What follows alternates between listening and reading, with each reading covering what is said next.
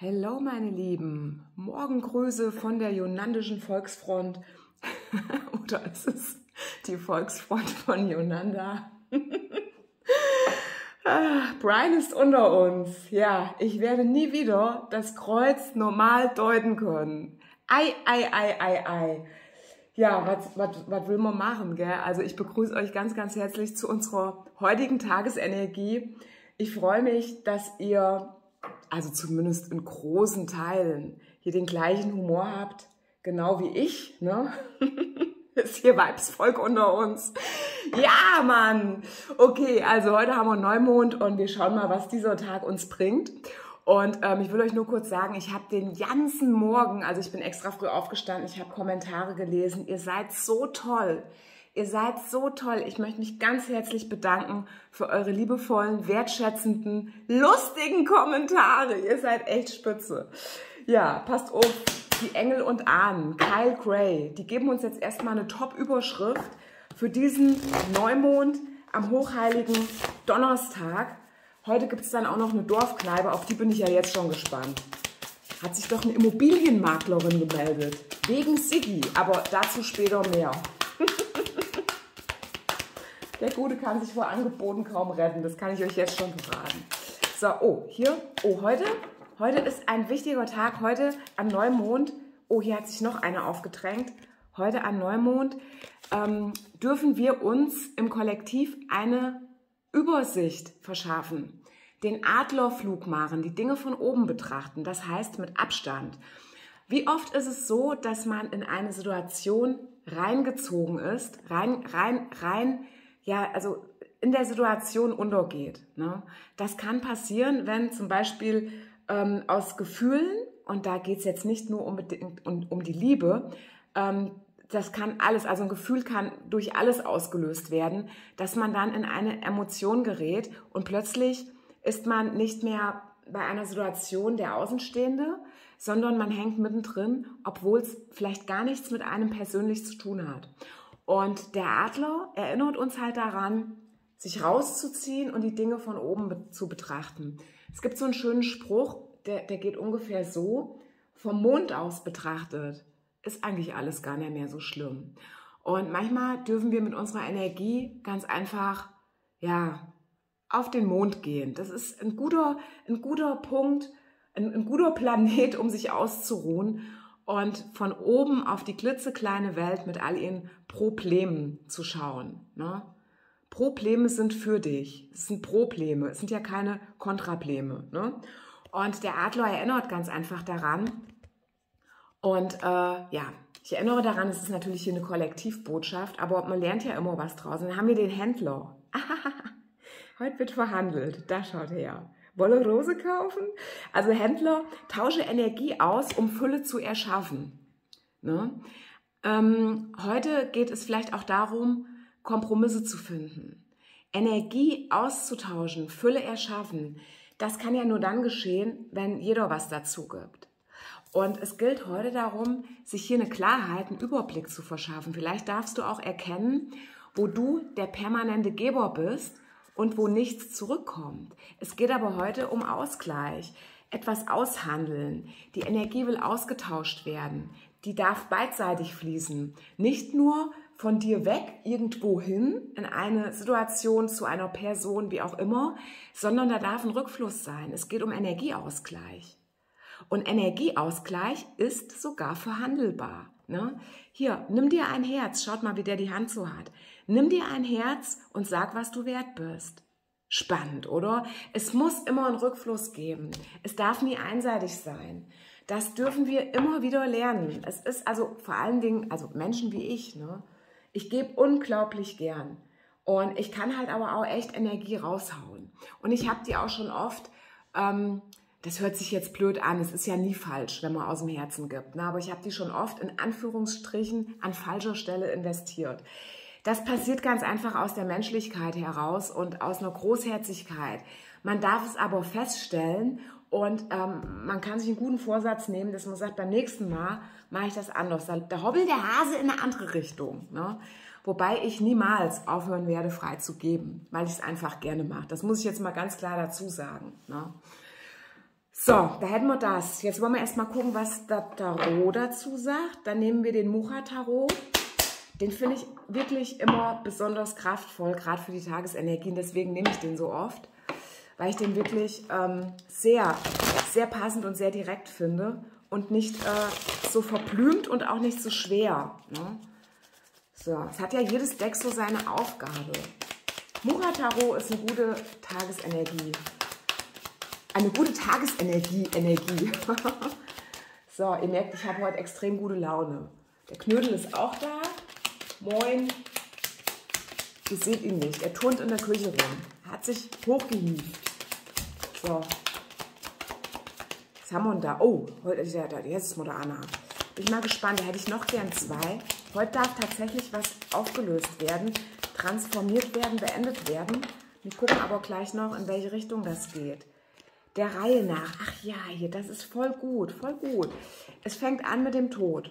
Finde ich sehr passend an Neumond, weil heute es beginnt ein Neubeginn. Ich sehe jetzt äh, den, ähm, den Tod nicht, dass etwas zu Ende geht, sondern dass etwas zu Ende ging. Du ähm, bist aus einer Energie rausgekommen oder du kannst das jetzt tun, indem du dich rausziehst. Mit dem Adler. Ne? Also etwas ist zu Ende, weil du nicht mehr in äh, eine Situation schmerzhaft vielleicht involviert bist, sondern es gelingt dir, deine Flügel auszubreiten, den Adler zu machen und die Situation von weit, weit oben zu betrachten, vielleicht vom Mond aus. Ne? Wenn der Mond weit genug weg ist, nimm den Mond, ansonsten kannst du ruhig von noch weiter oben schauen. Und ähm, ich soll jetzt gerade mal sagen, deine Liebe ist nicht verhandelbar. Das kommt mir gerade so rein für die, die auf die Liebe schauen. Deine Liebe ist nicht verhandelbar. Ansonsten geht es darum, fair zu sein. Ja, wo ist ein Ungleichgewicht? Wo bist du mehr im Geben und wo kommt nichts zurück? Fair darf man auch zu dir sein. Ne? Es geht nicht nur darum, dass du fair zu anderen bist, sondern wo darfst denn auch du fairer behandelt werden? Der Händler, der sagt, nimm dir ein Herz, steh zu dir.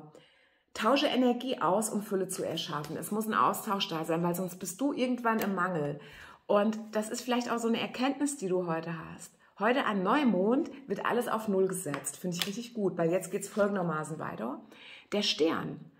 So, du hast nämlich jetzt eine neue Vision. Dein Weg geht weiter und ähm, du, du hast einen neuen Durchblick, eine, eine völlig neue Klarheit. Eine Situation, die die ganze Zeit vielleicht für dich total verwaschen war, die kann heute geklärt werden. Du musst allerdings was dazu tun. Zieh dich raus. Ne, mach das ganz bewusst, mach den Adler. Wenn du dich dafür entscheidest oder dazu entscheidest, ähm, wie der Schmetterling im Spinnennetz weiter zu zappeln, dann ähm, wirst du diese Tagesenergie nicht einlösen können. Also du musst halt auch energetisch auf einer Welle sein mit dieser Energie. Deine Seele muss bereit sein. Wenn deine Seele im Moment noch erfahren will, wie es ist, drin zu hängen ne, und zu zappeln und zu kleben und äh, ja und äh, in der Situation zu ersticken oder die Kontrolle absolut verloren zu haben, wenn deine Seele das im Moment noch braucht, dann ist das auch richtig. Wenn du aber die ganze Zeit schon an einem Punkt stehst, wo dir nur der letzte Ruck fehlt, ist heute an Neumond echt ein guter Tag, um neu anzufangen. Und jetzt kommt es mit dem Herrscher, in deine Selbstbeherrschung zu gehen. Selbstbeherrschung heißt nicht, eine Energie zurückzuhalten oder eine Kraft bei dir zu behalten. Nein. Selbstbeherrschung heißt, über dich zu herrschen, weil du bist dein Herrscher und jemandem oder einer Situation die Kontrolle über dich hat, diese zu nehmen, weil der Einzige, der dich kontrollieren kann, darfst du sein. Selbstbeherrschung bedeutet, du hast die Kontrolle über dich und dein Leben und nichts und niemand anderes. Jesus, Mutter Anna, ich bin aber jetzt, ich habe aber jetzt auf Fahrt aufgenommen. Das ist so. Ja, das soll, das soll ich heute auch so deutlich sagen. Zieh dich raus aus allem, was dich kontrolliert, was deine Gefühle kontrolliert, was dich in Emotionen absaufen lässt, wo du keine Kontrolle mehr hast.